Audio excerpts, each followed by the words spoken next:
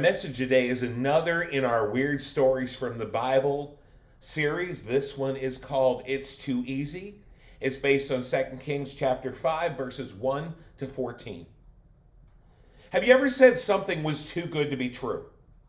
Or maybe if it sounds too good to be true, it probably is. There's some wisdom in that. If someone offers you something at an unbelievable price, you might want to check before you write your check. See what I did there? Sure, they may just be being generous, or maybe they don't know what they have, and if that's the case as a Christian, you should probably tell them. But a lot of times, there's a problem with the product. Either it's defective or it's just about to break down, or else it's stolen and they just want some fast cash. Let's face it, we live in a buyer beware world. And with all the ways the internet has created to steal and deceive, it's just getting more so. Scammers are everywhere, and they're getting better at being bad all the time. There's a reason Jesus told us to be wise as serpents and to be gentle as doves. He doesn't want us to be like that old serpent Satan, right? He, but he does want us to be alert to the, to the serpent's schemes. And yes, he wants us to be gentle. He even wants us to be innocent, but he doesn't want us to be gullible. He wants us to use wisdom, the wisdom he has given us, and he wants us to be discerning. Yes, it's true. We need to be careful who we trust.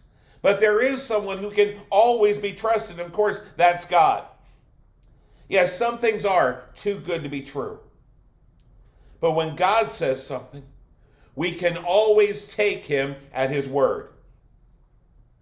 There will never be a time when God cannot be trusted. The question then is will we trust him? The man from our story today is not a believer in our God. As a matter of fact, he's an oppressor of the people of God. That's part of what qualifies this as a weird story.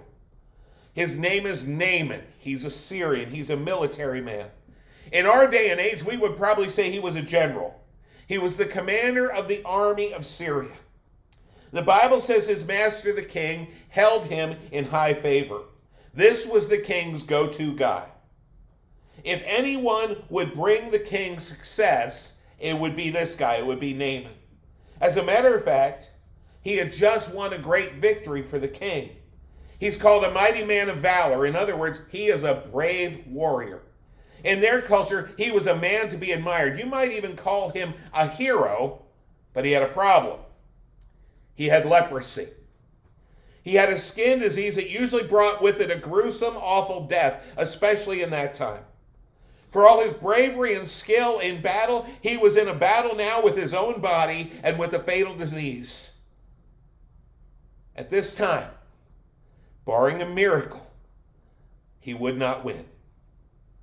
If something didn't change, leprosy would likely take his life. Look at what it says in verse 2. Now, the Syrians, on one of their raids, had carried off a little girl from the land of Israel, and she worked in the service of Naaman's wife. Now, here's where this story starts to get even a little more weird, at least for me. I'm going to let you in on a little information. Now, it comes a little later in the message, but it's not really a spoiler. If you had been reading the uh, scripture reading before you went into this message, you would have already seen it. But God is going to heal this guy. And part of me wants to know why. I mean, look what he did. It looks like he led a raid against Israel, against God's people.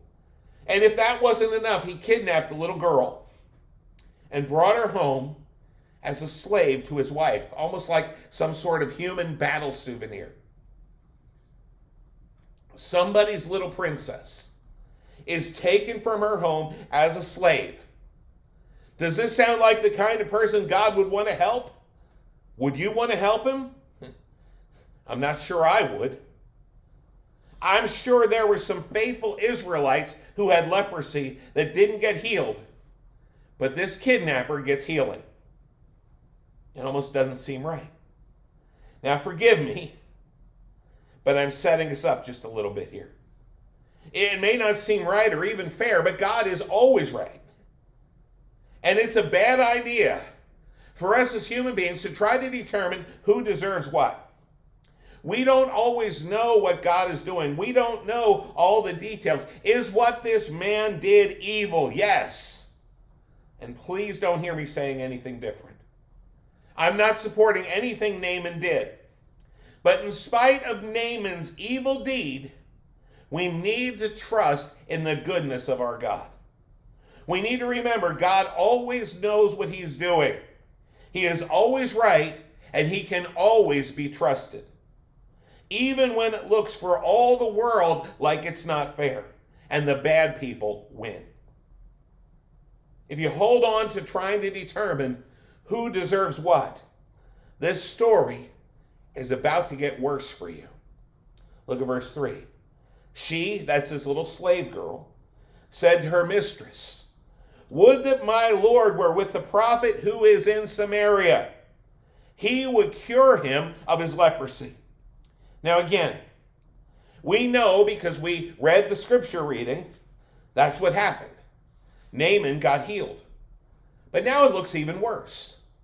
If Naaman had not done the evil act of kidnapping this child, it could be argued that he would not have gotten healed.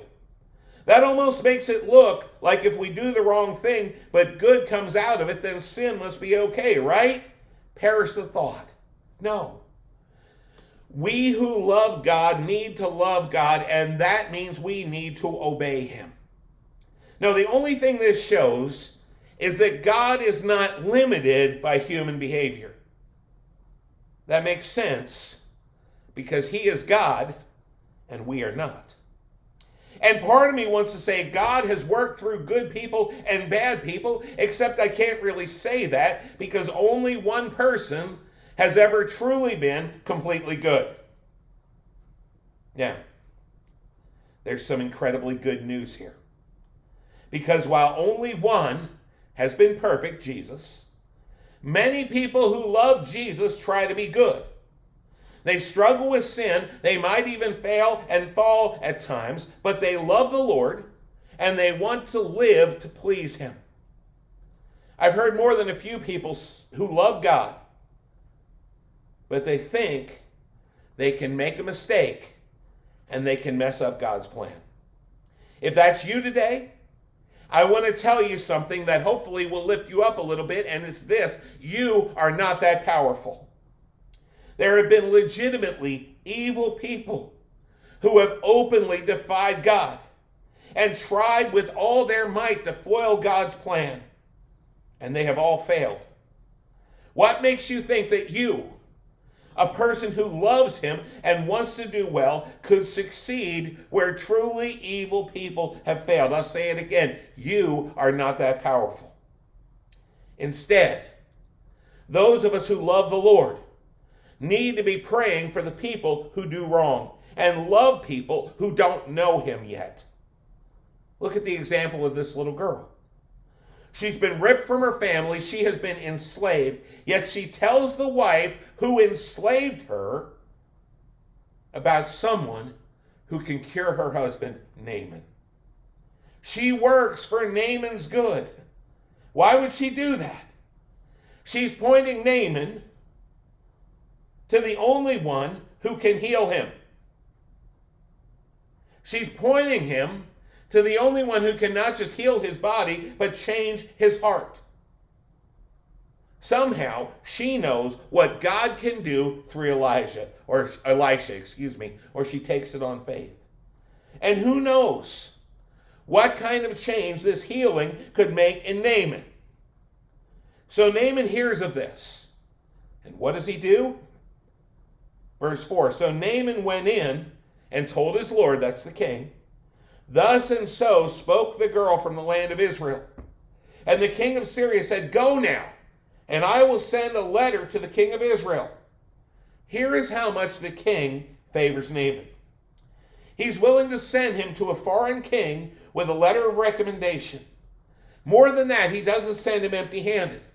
The rest of verse 5 says So he went, taking with him ten talents of silver 6,000 shekels of gold, and 10 changes of clothing. Now, in case you're not up on your shekels and talents, let me help you. A talent is 75 pounds. A shekel is two fifths of an ounce. So the king sent Naaman to Israel with 750 pounds of silver and 150 pounds of gold. That would be worth around $350,000 today. Though one source said all of that would have been worth about 5 million today. Not to mention 10 outfits of clothing. Remember, all the clothing at that time was handmade. It was all very expensive. These people didn't have dozens or hundreds of garments like a lot of us have. They had a few well made, highly expensive garments. The king sent Naaman to Israel with a king's ransom.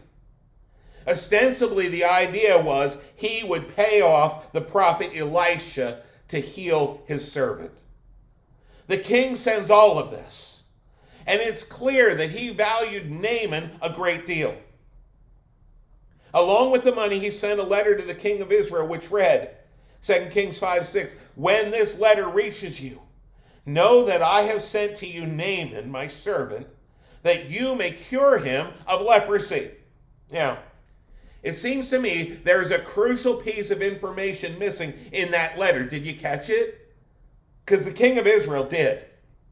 In verse 7, it says, And when the king of Israel read this letter, he tore his clothes and said, Am I a God to kill or to make alive? That this man sends word to me to cure a man of leprosy. The king of Israel thought the king of Syria expected him to heal Naaman. And of course, the king doesn't think he can do that. He's a king, not a healer. And because he sees himself as unable, he starts to think there is an ulterior motive from the Syrians.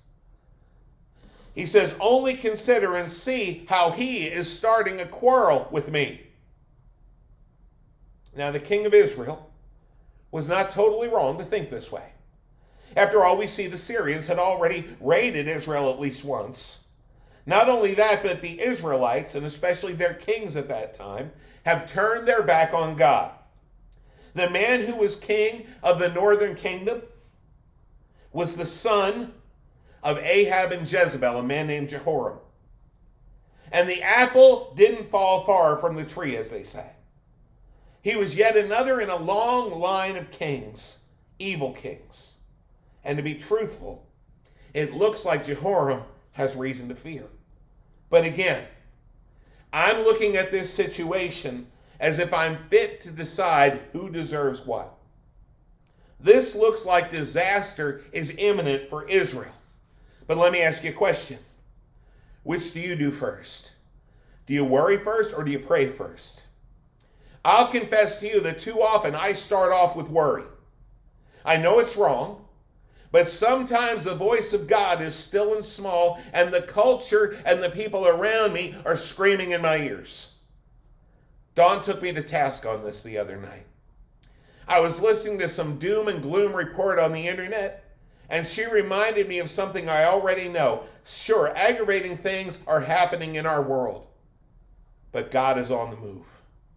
God is at work, and good things are still happening. Perhaps my focus is on the wrong thing at times. How about you? Jehoram is already tearing his kingly robes. He is in despair and he seems to think disaster is coming. And Elisha the prophet heard about it.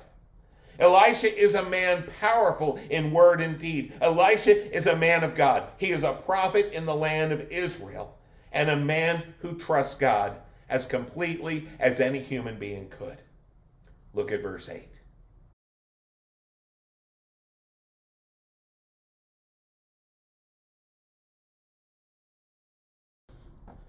But when Elisha, the man of God, heard that the king of Israel had torn his clothes, he sent to the king, saying, Why have you torn your clothes? Let him come now to me, that he may know there is a prophet in Israel. Is Elisha being boastful? I don't think so. I think he wants to show this man Naaman the power of God. I think Elisha wants to remind the king where his hope should be. And Elisha was going to do this in a way no one, including Naaman, could expect. So Naaman came with his horses and chariots and stood at the door of Elisha's house. Now think about who Naaman is before we go any further. Naaman is his king's right hand man, the king's most trusted general. Naaman's a man who is in command. He is very powerful in his land, and he is used to getting whatever he wants. When Naaman says jump, people say, How high? And maybe I'm reading this wrong, but it sounds like he shows up at the home of Elisha with a show of force multiple horses and multiple chariots. It sounds like he's not asking for healing, he's demanding it. Heal me or else. Do you know any demanding people? How do you respond to them? Let's see how Elisha does. Verse 10 And Elisha sent a messenger to him, saying, Go wash in the Jordan seven times, and your flesh shall be restored, and you shall be clean. Okay, remember, Naaman is a big, powerful guy in his land. He shows up at the home of this prophet from a land he probably sees as less than his nation. Further, he probably thinks this prophet is beneath him. The God this prophet serves is inferior to the God of his land in his mind. But he has gotten to the point, Naaman has gotten to the point where he's desperate. This disease is a death sentence, and Naaman is running out of time. Still, Naaman is likely expecting Elisha to fall over him. Instead, Elisha doesn't even come to the door he sends a messenger to Naaman, and the messenger tells this powerful man what to do. The prophet he came to see didn't even dignify his presence by coming to the door. He sent some servant to tell this mighty general what to do. Go wash seven times in the river and you will be healed. How would you respond? What would you do if you went to your doctor with a fatal disease and the doctor essentially didn't even come to see you, sent his nurse into the room and said, Go jump in a lake. It had a sound like he was saying, If you take a bath, you'll feel better. Can you see how he might be offended? Now, hygiene is important, don't get me wrong. Please don't get me wrong. But taking a bath is very rarely a cure for anything, especially a serious disease like leprosy. What a joke. At the very least, Naaman had to think this was too good to be true, it was too easy, and in a way, he was right. Verse 11 shows his offense. But Naaman was angry and went away, saying, Behold, I thought that he would surely come out to me and stand and call upon the name of the Lord his God. Notice he says, His God, not my God and wave his hand over the place and cure the leper.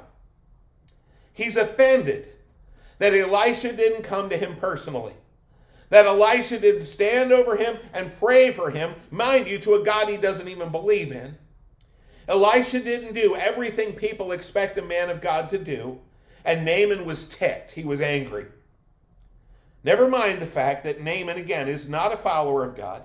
Never mind the fact that Naaman only knew to come here because of a child, a child he kidnapped on a raid against God's chosen people, told him to come. He was an important person. He deserved to be helped because of who he was. Talk about an entitlement mentality. And, folks, this is the other side of trying to determine who deserves what. And that's trying to determine what we ourselves deserve. When we start to judge God's goodness based on what we think we deserve, we put ourselves in dangerous territory. Frankly, Naaman deserves nothing from God, and neither do we. All have sinned and fallen short of the glory of God. Naaman's actions show he was undeserving. And yet we know God eventually healed him. Why? Because by His grace, God doesn't give us what we deserve. God gave His only Son to take upon Himself what we deserve so that we can become the children of God and live forever. Naaman's not done. He starts to complain about the river. The rivers in my land are better than the rivers in this land. If I could be cleansed by any river, it would be one of the ones that's close to my homeland. They're better, cleaner, pure, or whatever. Is that true? I have no idea. It all smells a little bit like pride to me, but maybe they weren't. He's saying if I just needed to bathe in a river, I could have done that at home.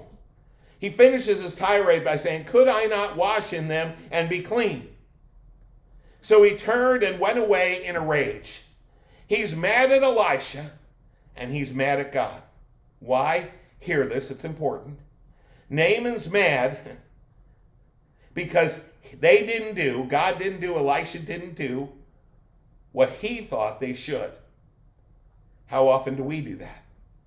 How often do we get mad at God because he doesn't do things our way? How often do we get mad at God because he doesn't do what we think he should do? When he doesn't act the way we expect him to or in the time frame that we expect. And I know I say this a lot, but it bears repeating. If God can only be God, if he does things our way, if he does things your way, then he's not God in your life, you are. Naaman was going off on his tirade. And then someone did him a favor. Look at verse 13.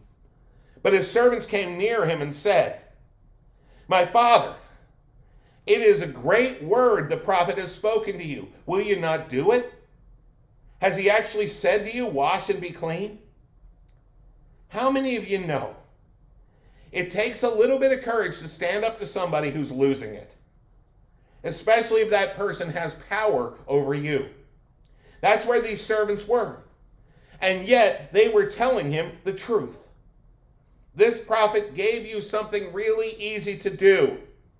He's telling you, wash and be clean. Now, I'll be the first one to admit, it does sound too easy. Wash in the river and be clean.